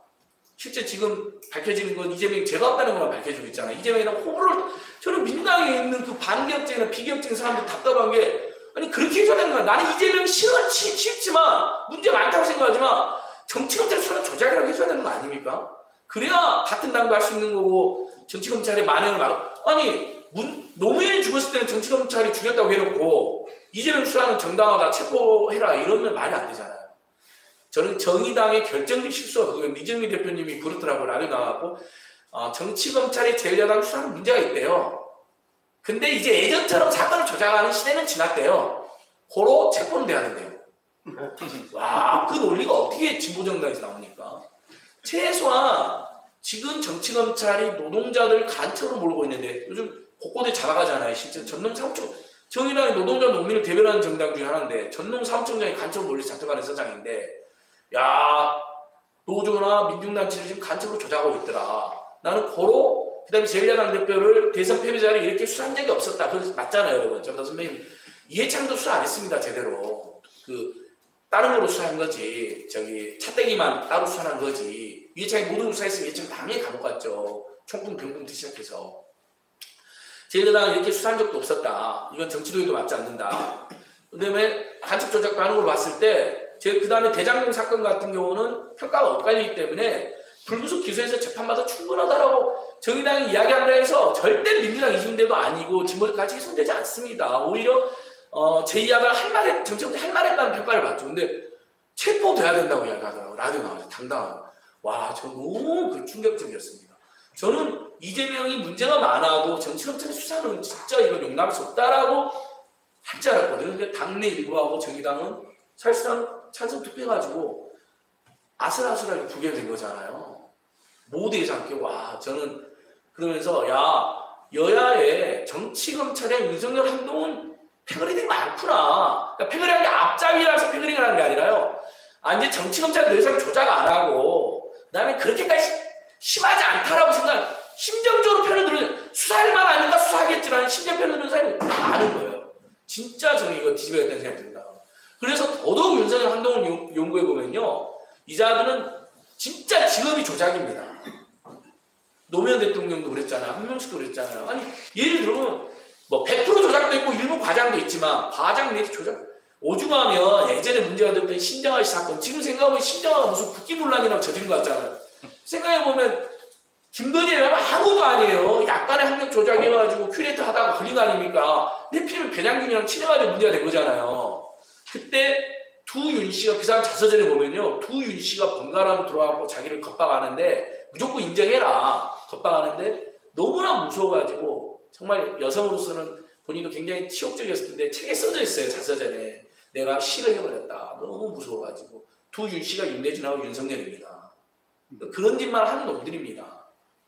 근데 와 야당 의원들이 야당 정치인들이 그 수사에 자기 당대표 수사가 정당하다 체포는 돼야 된다는 그러니까 그렇습니다. 그래서 그 해경 당시 수사 책임자도 검찰에 갔는데 딱 하나만 다 아니까 그 우리가 보통 이야기 때문에 정말 그렇게 물어보는 어 너가 고민 많은 거 알고 네가 시켜서 건 아니야 청와대 시켰지 딱 한마디만 물어보요 거기에 오케이만 하면 풀어준다고 그래요.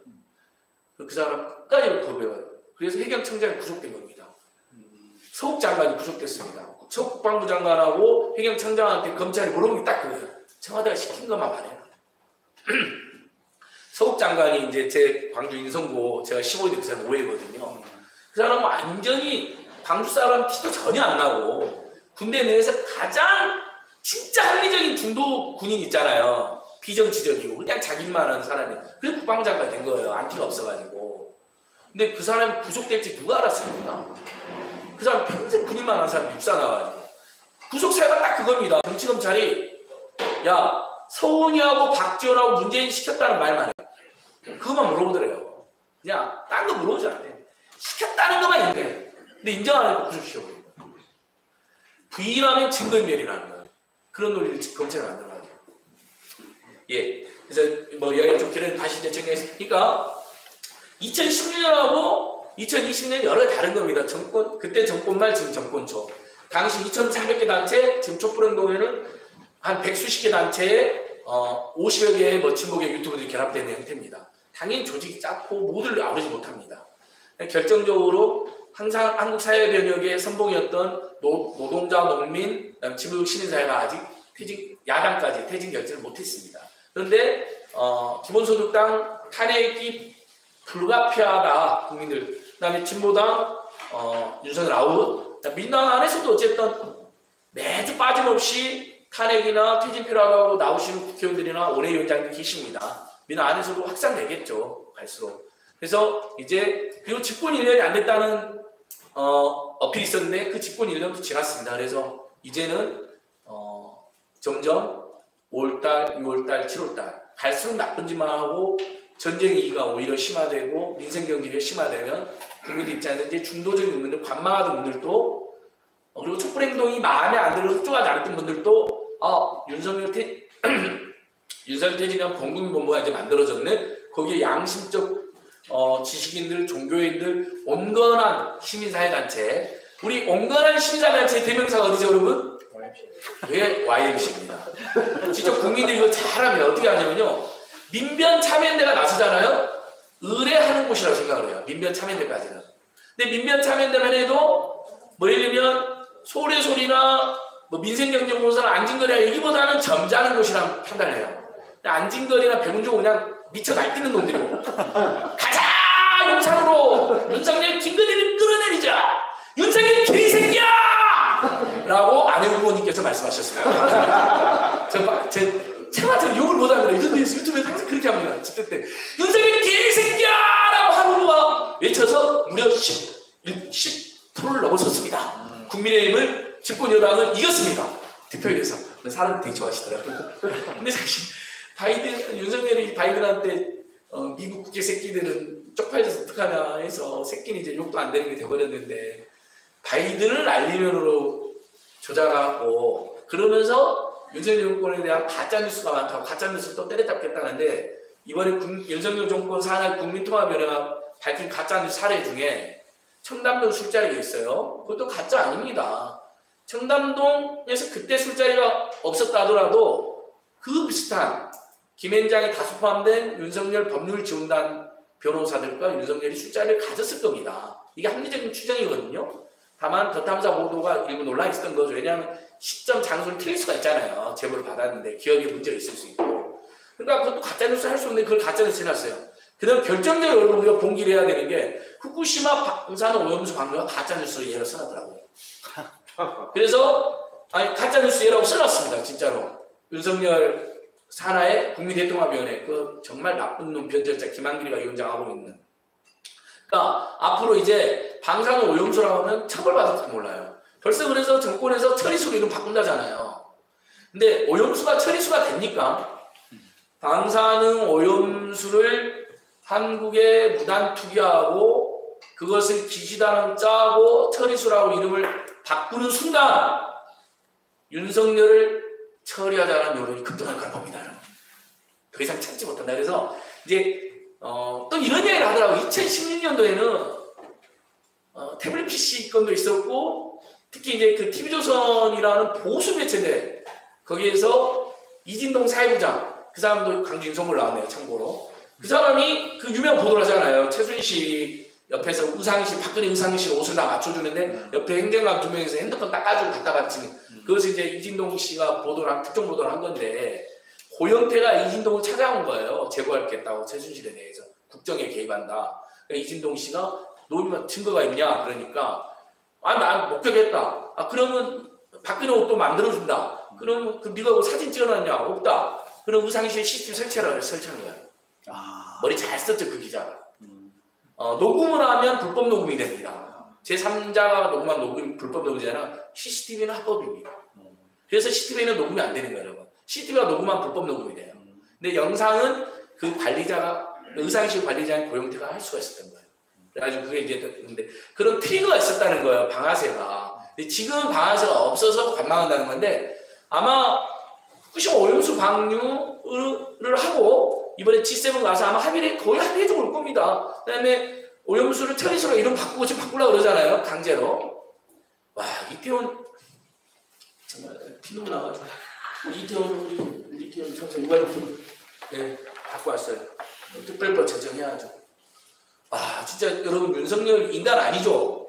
어떻게 이태원 참사 현장에 1박 2일 만에 나타나서 여러분 진짜 이런 걸 우리 잊으면 안 돼요. 1박 2일 만에 나타- 나타나서 그 청년들이 쓰러지는 우린 정말 눈으로도 못 들었는데 삿대질 하면서 여기서 애들이 이렇게 많이 죽은 거야 라는 반말과 삿대질 한 다음에 내려와가지고 그 유명한 말을 합니다. 압사? 대진탕이겠지? 1박 2일 동안 보고를 하나도 안 받은 겁니다. 관심도 없었던 겁니다. 술 먹었다는 제보가 들어와 있습니다. 새벽 3시에 차가 들어왔거든요. 거기까지 제가 확인했습니다. 진짜 어떻게 그럴 수가 있습니까? 온 국민이 세월호 때도 너무 가슴 아파하고 이태원 보면서 아, 어떻게 저기서 저 젊은이들 모든 부모님들이 집에 안 들어온 딸들한테 다 카톡 전했다는 거 아닙니까? 저도 당장 우리 딸한테 연락을 하게 되더라고요. 너무 걱정이 되고 깜짝 놀라가지고 그렇게 가슴 졸이면서 거다 알았잖아요. 압사라는 그 간단, 그러니까 뉴스조차 안 보고 상황 보고조차 안 보고 술 퍼먹고 있다가 근데 누가 뭐 사람들이 이야기하는 것도 안 듣, 들어도 심지어 이야기했을 시장은 비서실장이 압사로 추정된 그 말까지 안 들었거나 아니면 술김에 잊어먹고 그래서 그 유명한 압, 압사람이 내진탕이겠지라는 망을 남깁니다. 그러니 참사를 사고로 바꾸고 금조를 못 쓰게 만들고 와 세상에 어떻게 저는 이태원 참사 때문에 정권을 퇴진시켜야 주장에 하나도 동의하지 않아요 지금도요. 예견 못하고 예방 못한 거 분명 엄청난 문제지만 근데 이태원 참사 다음에 이자들이 하는 짓을 보고 그건 퇴진시켜야 된다고 생각했어요. 참사를 참 사고로 바꾸고 분향소의 영전과 입회도 없고 이름도 없고 어떻게 이럴 수가 있습니까?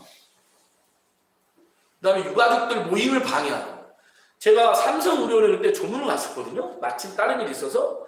근데 거기서 그 상, 상주들이 막 이런 얘기를 오늘 여기 그 희생자들이 삼성 의료 비교 가깝잖아요. 이태원에서 희생자들이 열, 시신이 13구가 왔었다는 거예요. 근데 지금 3구만 남았다는 얘기를 하는 거예요. 일단 모든 병원에서 5구 이하로 다 주장을 한 겁니다. 왜냐하면 유가족이 대여섯만 있어도 몰리 결성될 수가 있잖아요. 두세 명은 모를 수 있잖아요. 삼성 의료는 10세고 있다가 세우로 줄어들었어요. 그 상주들이 다 알더라고요. 그런 짓을 한 분들입니다. 그때 다시 한번 다짐했습니다. 이암 불태워서라도 저놈들 몰아내야겠다. 그래서 국민의힘 앞에서 이분들이 유가족들이 1인씩 200일로 200시간 농성했거든요. 가서 어, 화, 올 하부터 했는데 저도 시간이 수목금 지난 수목금 3일 연속 이렇게 우리 유튜브처럼 안진걸 TV 모시고 가가지고 어, 저도 생중계하고 요거 1인 시도 하고 바꾼 겁니다. 그래서 가방 안에 갖고 다니면서 언제라든지 1인 시도 하고 이렇게 갖고 왔습니다. 그래서 정말 어, 몰아내는 사유가 너무나 많은데 근데 저희들 마음대로 안 되는 거잖아요. 세상 일이라는 게. 결국 결국 민심 국민이 저희들 손을 들어줘야 될 때 그것도 70에서 80%는 탄핵 여론에 찬성할 때 일이 벌어지는 거거든요. 2016년도라든지 6월 항쟁이라든지 이런 거 비교해보면 그때 어떻게 이대로 우리가 잘못하면 2008년 때가 2008년 때도 100만 명의 국민들이 기를 쏟아놨지만 이명박 정권 초기였잖아요. 퇴진이나 탄핵 여론까지는 가- 나가지 못했어요 당시. 근데 이명박 사과도 했어요. 근데 윤석열은 절대 사과 안 해요. 앞으로 나쁜 짓을 더 할 거예요. 그래서 지금 나쁜 짓 줄줄이 기다리고 있어요. 그래서 어, 이명박은 그 즈음에 2008년 미국산 쇠고기 사태 이후에 지지율이 좀 올라가게 됐어요. 윤석열은 앞으로 뭐 우여곡절이 있겠지만 나쁜 짓 계속 하니까 특히 이제 후쿠시마 오염수 방류 다음에는 수순이 뭔지 아시죠 여러분? 어, 일본산 수산물을 수입 금지하는 걸 허용하는 겁니다. 그 수순입니다. 기시다가 그까지 다 욕을 했을 겁니다. 일본에서도 한국에서도. 미국 가서 완전히 글로벌로 된 거고 기시다가 한국에 선물로 줬다는 분석 있잖아요. 다른 나라 100개 먹기 전에 내가 빨리 와서 빠- 더 100개 먹어야겠다. 일본에서 다 100개 먹지 못한 거예요. 그래서 임기 내 독도 문제 해결하라는 요구까지 하고 있지 않습니까? 윤석열 임기 내, 내 독도 문제 해결 요구는 여러분 뭐냐면 독도는 일본 땅이라고 선언해라는 거예요, 윤석열한테. 근데 말 한마디 못 하고 있잖아요. 이거 중대한 탄핵사입니다. 헌법에 대통령은 영토와 주권과 국민의 수호자로 돼 있는데 지금까지 대통령실과 윤석열 입에서 독도 이야기 하나도 안 나오잖아요. 저는 일본에서 기시다가 러브샷 해주고 어, 폭탄주 말아준 다음에 이야기했다고 봅니다. 윤석열 술 틈에 독도 日本です 뭐 했는데 윤석열 아야 러브샷 폭탄 오케이 오케이 이랬을 가능성이 매우 높다고 봅니다. 그 말까지 안 했다 그러도 그런 거 있잖아요. 당신 어 당신의 주장이 뭔 말인지 안다 이해한다. 그러니까 지금까지 침묵하는 겁니다. 그 회의로 송교 변호사 팀이 또 공개 요청해놨습니다. 당시에 한일 정상회담에 있었던 모든 회의록을 내놔라 대화록을 안 내놓고 있잖아요. 예, 좀 이야기 길어졌는데 이제 서서히 마무리하겠습니다. 그래서 어, 너무 답답합니다. 저보다도 답답하신 분도 있을 겁니다. 막, 어, 뭐 저한테 전화나 문자나 이메일로 막 잠을 못 자고 있다. TV를 아직도 1년이나 TV를 못 본다. 민주당은 왜 이렇게 태진이나 탄핵, 꼭 태진 탄핵까지 하고 윤석열이 제대로 맞서지 못하냐. 정치검찰 만행을 왜 제대로 못하냐. 뭐. 와, 그런 문자 막 안진걸 TV에도 댓글 엄청 달립니다. 거짓말이야. 우리나라 국민들이 지금 화병에 걸려 죽게 생겼다는 겁니다. 전쟁 나기 전에 민생경제 파트 나기 전에 그 전에 먼저 화병 나서 죽겠다는 사람이 엄청. 진짜 저는 그런 생각하면 전국의 시민사단체들께 제가 호소드리는 겁니다. 우리 YMCA든 어디든 좀 온건 진보 성향의 단체들도 이제 서서히 조직 내부에서 좀더 논의를 활성화하셔가지고 이제 1년도 지났고 1년도 안 됐는데 온건한 시민단체 퇴진에 나서면 좀 과하죠. 저도 그렇게 생각해요. 표의할 시간을 드려야죠. 평가할 시간도 드려야 되고.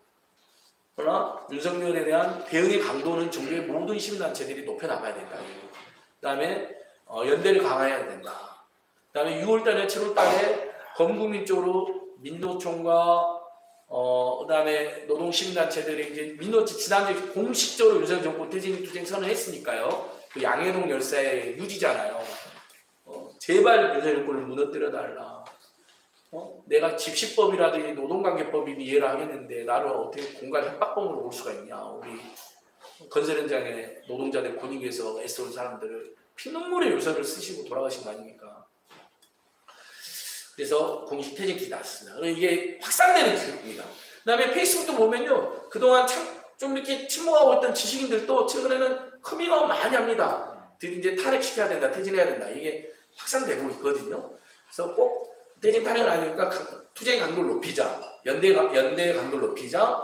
6월 7월쯤에는 어, 윤석열 퇴진 범민운동본부를 전국적으로 만들 때 다 같이 모이자. 이렇게 저는 제안을 드리고 호소를 드려봅니다. 근데 그때까지는 결정 안될 수도 있겠죠. 그러면 또 일면 좀 온건 진보 블록은 온건 진보 블록들은 윤석열, 김건희 밀착 감시 견제라고 하면서 힘을 보태는 방법도 있잖아요. 어떻게 단박에 우리 마음대로 6월달에 막 100만, 200만 다 모이는 퇴진본부, 퇴진집회가 있을지는 아무도 모르는 거거든요. 근데 저희 추정컨대 어, 오염, 방송 오염수 방류를 합의해주고 이번에 많은 게 시찰단이 아니라 관광이라는 거 아시죠 여러분? 시찰단이 아니라 시음단이라는 소문도 있습니다. 그래서 일정이 자꾸 합의가 안 되는 이유가 시음까지 하려면 못 모으고 있는 거예요. 이제 가고 시음까지 하고 와야 되는데 어 이제 그런 부- 이번에 일정이 아직도 합의가 안 됐다고 방금 전에 뉴스가 나와서 그 이유가 일본에서 전혀 협조를 안 해주는 거잖아요. 근데 이제 비공식적으로 우리 국민들은 풍자 안 하는 거죠. 가서 간 김에 시음까지 해서 안전하다고 할 놈들을 모아야 되는데 우리나라 아무리 보수적이고 나쁜 사람도 차마 그거 못하는 거예요. 못하니까. 그래서 시찰단을 시음단을 하다가 실패해서 일정이 안 맞고 있다는데 근데 가서 진짜 관광하고 오는 거거든요. 이걸 국민들이 모르겠습니까? 그러면 그거 처리수를 바꾸고 그 순간 제일 사트리가 온다고 봅니다. 그냥 누적된 분노와 어, 그래서 여러분 그때를 위해서 저희가 더 힘도 모으고 어, 열심히 하겠습니다. 한번 저희는 어, 야당들이 계속 설득하고 있고요. 그래서 집회 많이 나오셨어요. 그동안 장경태 최고위원, 선거 최고위원도 정식 비난해서 발언했고요. 다른 이제 박찬대 최고위원한테 제가 정- 정책내 지금 제안해놨습니다. 이재명 대표님도 언제나 나오실 거라고 믿고 있고 이번 주 토요일 날 어, 국군시 오면서 방류 반대 대규모 집회 환경단체들하고 민주당이 주도해서 합니다. 그건 너무 잘한 겁니다. 퇴진 탄핵 안 그래도 좋으니까 그렇게 해야 됩니다. 아니 세상에 민당 의원 중에 자, 국회의원은 장에 나가면 안 된다는 헛소리를 아니 언제 우리가 국회를 박차고 나가라고 그랬습니까? 오라서 또 국회에서 열심히 하시고 이렇게 주정석 의원님처럼 일요일 날이나 평일 저녁에 나와서 길거리나 시민들하고 같이 투쟁하면. 그게 뭐가 문제입니까? 그게 국회를 포기하는 게 아니잖아요. 오라서 국회에서 의정활동 열심히 하고 금리나 시키고 서민들 지원하고 그다음에 토요일 날 딱 두 시간 데모하는 건데 그게 장애 투쟁 안 된다는 거야. 국회를 지켜야 된대. 말도 안 되는 소리야. 그럼 자기는 제일 DJ를 존경한대. DJ 맨날 단식하고 투쟁을 싸웠네. 말이 안 되잖아요. 그러니까 그 노무현을 제일 존경한대. 노무현 정치검찰한테 희생됐는데 근데 이재명은 체포 동의 찬, 찬성한대. 이런 사람들은 진짜 유명한 정사람들입니다. 그런 정치는 안 된다고 생각해요. 저는 뭐 민당 안에 있는 뭐 수박 논쟁 이런 거 좋아하지도 않아요. 그렇게 누구 낙인 찍고 싶지도 않아요. 하지만 분명한 건 윤석열과 김건희와 정치검찰 문제를 아주 우습게 알고 타협하고 오히려 자기 당에 싸우는 사람을 저기하는 사람들이 그건 저는 용납이 안 된다고 봅니다. 전두환 노태우 때 저기 도망가고 있는데 발걸, 발걸어서 백골단한테 넘겨준 사람들이에요. 그때 그런 사람 있었거든요. 조경 선생님 그렇잖아요. 100%다 동의 안 해줬잖아요. 진짜 가끔 저도 91년, 90년 막 가토했는데 서러울 때 있어요. 막 피신 갔는데 나가라고 막 소리 지르는 상인 있고 막 그랬어요. 막 도와주. 그럼 영화 속에서 도와줬는데 상인이 민중들이 근데 나가! 아, 예, 예, 죄송합니다. 그러니까 워낙 많은 우여곡절이. 자, 내가 저희들 더 힘내서 열심히 싸우겠습니다. 근데 오늘 비도 오는데 이렇게 많이 오시고 정말 감동입니다. 감사하고요. 그리고 이제 우리 여수 시민단체에도 진짜 우리가 확실히 SNS하고 유튜브를 더 강화했으면 좋겠습니다. 언론이 망했잖아요. 미쳤잖아요. 더 이상 기대할 게 없습니다. 이제 JTBC는 어 그 시청률 떨어지니까 박근혜 때에 비해서 확 떨어지고 그게 완전히 보수화되니까 그 홍정기랑 아니 그, 그 홍- 중앙일보 홍 누구죠? 홍석현이랑 그 아들이 JTBC에서 뉴스를 없앤다는 게 찌라시가 돌대요. 아예 그냥 이제 뉴스는 재미가 없다 뭐 이런 거잖아요. 그러니까 JTBC도 한때 기대를 왔는데 이제 JTBC 포기하는 거거든요. 지금 완전히 또 뉴스는 포탈 장하고 있잖아요. 네이버가. 네이버 얼마나 장난질 합니까? 기사 막 배치하고 그럽니다, 이놈들이. 말로는 안 그런다 그러면서. 그러니까 그 네이버나 어, 뉴스를 다 포기하고 어쨌든 시민론을 대하는 개혁 언론의 세- 세상으로 이렇게 만들고 나중에 민주종편 하나 만들어야죠. 우리도 종편은 그래도 하나 만들어야죠. 그래서 진보 언론 지금 뭐 팩트 TV 같은 데나 오마이 TV 같은 데는 민주종편 하나 하려고 그럽니다. 그러니까 그것도 우리가 그때 힘을, 힘을, 힘을 실으면서 전국의 모든 시민단체들은 유튜브를 하자. 더 SNS 활성화하자. 저- 심지어 저 같은 사람 안진걸 TV 만들어서 현재 구독자 8만 9천 명 됐습니다. 고맙습니다. 여러분, 다시 한번 저를 초대해서 고맙고요. 그것도 우리 5.18.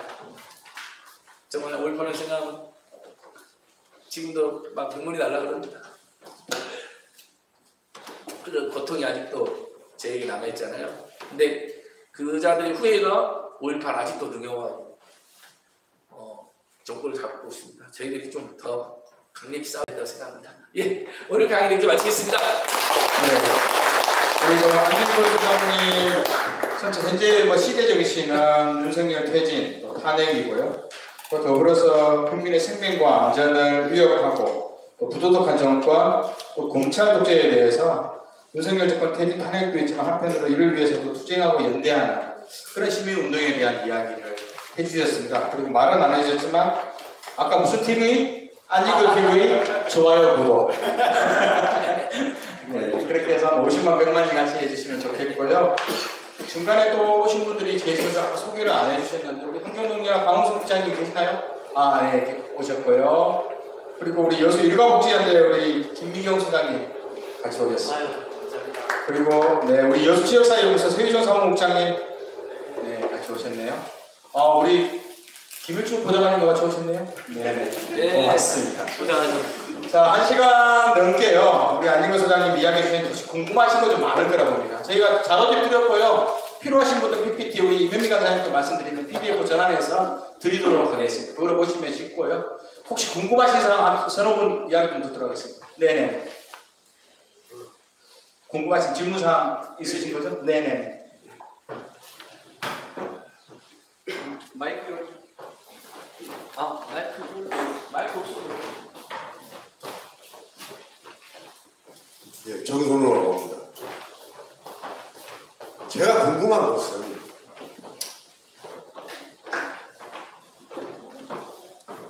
사실 박근혜 퇴진이 저도 1년만 있으면 나이가 70입니다. 근데 박근혜 퇴진이 제 생애 마지막일 줄 알았습니다. 그래서 일주일 내내 준비해갖고 월요일부터 금요일까지 토요일 하루 집회하고 예. 그러다가 박근혜 퇴진 시켰어요. 근데 아무것도 안 하고 있다가 열매만 똑 따쳐먹고 대통령이 됐어요. 그래서 공약을 많이 했어요. 제가 어제도 금남로 전화제 갔다가 하룻밤 밤새 자고 오늘 또 오- 비가 비가 오는데도 올팔 묘역에 갔다가 그 이제 친구 있지만 또 오늘 갔다가 왔다 와갖고 여기까지 왔습니다만은 저는 이 참담한 상황을 만든 이 윤석열이라는 아니 상식적으로 생각하면 윤석열이가 대통령 될 줄을 저는 꿈에도 몰랐어요. 그 대통령 깔려고 생각조차도 해보지도 않았어요. 근데 저런 작자가 이 참담한 현실을 만들어 놨는데 이 참담한 윤석열 대통령을 만든 그 원흉이 저는 문재인이라고 봅니다. 네.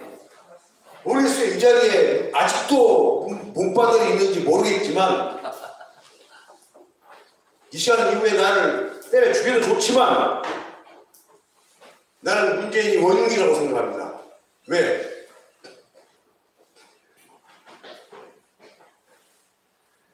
아니 문 윤석열이가 낚시에다가 떡밥을 감추 떡밥으로 낚시 낚시 해갖고 요 검찰 개혁 언론 개혁 다 했다고 하니까 검찰 총장 시켜줬답니다.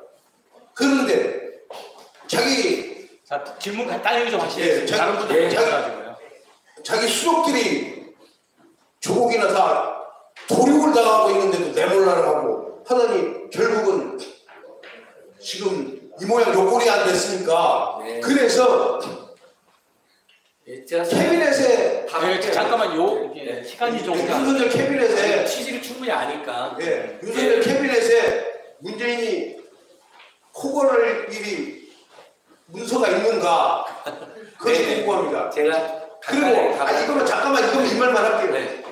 네. 박근혜 퇴진 때 겪어본 사람은 알겠지만 지금 윤석열 퇴진에 망설이고 안 나온 사람들 왜 안 나오냐면 박근혜 퇴진 세가 빨리 해봐야 뭔 소용 있어. 예. 예. 죽 서서 개렸는데 예. 그러면 이번에 윤석열 퇴진 세가 빨리 하면 뭐해? 또 죽서서 개릴 건데 맞습니다. 그 질문. 그래서 지금 망설이고 있는 사람들이 많다 이 말입니다. 네, 두 가지 질문. 예, 네. 거기에 대한 그러면 지금 촛불 행동에서 네. 좀 거기에 대한 아니라는 대답을 주십시오. 예. 그때 당시로 서울 중앙에 얘기하니까 제가 다 할게요. 잘될 겁니다. 선생님. 잘 되겠죠. 선생님, 제가 다 열번. 끝나가 그냥 끝내버렸어요. 네, 네. 그러니까 뭔가 대안이 있어야 아닙니까, 대안이. 예, 예, 예. 아니, 아무튼 너무 답답하죠. 실제 저 두 가지 이야기가 최근에 이제 촛불 행동 또는 퇴진 집회 또는 전체적인 상황에 대해서 많이 나옵니다. 지적이나 질문이 뭐 듣기에 불편하신 분도 있을 수 있습니다. 그러니까 일단 어, 그 옛날에 이제 박근혜 퇴진 비상공군 행동 때 일반 시민들로 구성되는 가장 맹활약한 분들이 시민 나팔 부대라는 분이 있었습니다. 선봉에서 나팔 막 수천 명씩 불고 막 그 청와대까지 들린다는 거예요. 부부젤라 소리가 막 진짜 재밌어요. 저도 그분들 모임에도 막 여러 번 찾아보고 있었는데 그분들 중에 어, 시민연대 함께라는 이제 촛불 시민단체가 생긴 거죠. 촛불혁명 이후에 NGO가 많이 생겼잖아요. 촛불 관련 단체들이. 근데 저번에 10월 22일 전국 집중 집회 이후에 안 나와요, 이분들이. 그래갖고 제가 이제 그분들 모임에 가서 꾸중을 엄청 들었죠. 그랬더니 그분들이 안 나오는 이유는 그때도 어, 민주당이나 문재인이 과실을 다 가져갔는데 그리고 지난 5년간 참 윤석열 당선 연합이었는데 이 지금 퇴진 집회도 보니까 어, 윤석열 퇴진만 열심히 외치지 그 이유에 대한 전망이 없는 것 같아. 그러면 또 민주당 좋은 일만 시키는 거 아니냐. 민주당, 민주당 나쁘다는 게 아니라 그런 반복은 싫다. 나는 아직도 충격이 너무 심하다. 그래서 안 나가고 있다고 그분들이 열 몇 분이 한테 이야기 하더라고요. 그래서 촛불 퇴진 집회 동력이 아까 말한 전국 시민사단체나 양대 노총의 야당이 결정 안 한 거 아직 1년밖에 안 된 것도 영향 끼쳤지만 또 촛불 집회가 2010년 박근혜 때보다 감동이 덜하거나 재미없다는 지역도 영- 영향 끼쳤지만 나 성질 나서 그때처럼 줄 서서 개주는 거 싫어서 또 우리가 열심히 했더니 일부 정치력이 그 과실 먹는 게 싫어서 안 나온다는 사람도 꽤 있다는 게 확인됐습니다. 그게 뭐 몇십만이다 몇백만이다 이렇게 알 수는 없지만 그런 정서가 있으시더라고요. 그래서 방금 선생님께 말씀하신 게 맞고요. 근데 촛불행동선 그래서 촛불행동 일각에서 그러면까 촛불행동이 그러면 민주당보다 더 멋있는 정당을 만들겠다 하는 사람이 있어요 일각에서. 그건 더 큰 논란과 비판을 받고 있어요. 아니 촛불 집회를 해가지고 우리가 윤석열 퇴진시키고 그다음에 기존에 있는 야당을 누구를 지지할지는 우리 자유인데 니들이 뭔데 창당을 해가지고 그 열매를 가져가려고 하냐라는 강한 반대를 붙였어요. 촛불행동은 창당을 못하지만 촛불행동에 참가하는 몇몇 단체가 창당했다니까 하니까 그래서 향후 전망을 창당으로 내거는 건 또 굉장히 부정적이신 거예요. 왜냐하면 이미 민주당도 있고 정의당도 있고 친보당도 있고 최근에 열린민주당도 또 만들었더라고요. 예전에 이제 열린민주당 합당 바- 민주당 합당 반대했던 분들, 그다음에 녹색당도 있고 꽤 있잖아요. 우리 진보정당들. 그리고 그다음에 민주당이든 특정 정세력이 그걸 가져가서 개혁을 제대로 안 하는 걸 감시하는 일을 해야지 본인들이 플레이어 되지 안 된다라는 것도 있어요. 그래서 선생님 질문은 정말 가슴 있게 받아들고 있으니까 퇴진 이후에 어떤 정당을 만드는 건 아니다 하더라도요. 분명한 건 누가 집권하더라도 2010년 박근혜 퇴진 비상운동은 박근혜가 탄핵되자마자 5월달에 해산선을 했거든요. 해산하는 게 아니라 강력한 사회개혁의 주체로 이 촛불 시민들과 정규 시민사회가 가야 된다는 걸 했고 윤석열이 나쁜 짓을 하면 할수록 문재인 전 대통령이나 논란이 심화되는 거예요. 이게 어쩔 수가 없는 겁니다. 근데 뭐 그래도 잘했다고 평가하는 분도 꽤 있어서 촛불행동 공식적으로 문재인 정부나 문재인 대통령이나 비판하기 어렵습니다. 왜냐하면 그러면 범친문 세력이 촛불 집회를 안 나와버립니다. 실제 촛불 집회 때 문재인 대통령 비판하는 시민 자유반이 몇 번 있었거든요. 선생님 같은 평가가 최근에 꽤 많고 늘어나고 있는 건 사실입니다. 윤석열이 나쁜 짓을 하면 할수록 같이 경질 했어야 되는데 1차 두 번째 두 번째 기회 추미애를 경질할 때 같이 경질했었는데 왜 하지 않았냐라는 원망이 많이 퍼지는 사실입니다. 그것도 어, 문재인 대통령님이나 문재인 정부의 주요 인사들이 국민들에게 저는 이제 그런 부분도 어, 좀 겸손하게 소통해야 된다고 생각합니다. 근데 촛불 행동이나 촛불 집회가 공식적으로 지적하기가 어렵죠. 어쨌든 범 좀 사정을 선생님 이해해 주십시오. 근데 그 선생 같은 지적이 굉장히 많이 늘어나고 있는 건 사실이다. 저가 그런 글이나 항의가 많이 들어오더라고요. 네. 네. 일단 다 혹시 뭐 시향대에서 또한 분 더 혹시 뭐 질문이나 의견 계신가요?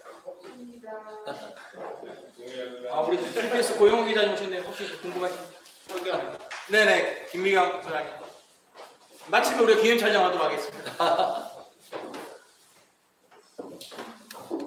여수 지역의 이야기를 좀 해보면 이런 촛불 행동이라든지 촛불 집회에 진행되는 정도가 어떻게 보면 중앙에서 어, 이렇게 이렇게 한다, 그러니까 뭐 이렇게 이렇게 하자 이렇게 하면서 조금은 이제 제 생각에는 어, 저희 지역사회 전체가 주체적이고 좀 운동적이지 못하다는 생각을 합니다. 그러니까 중앙에서 어떤 단체들이 이렇게 이렇게 하니까 저희도 만들자.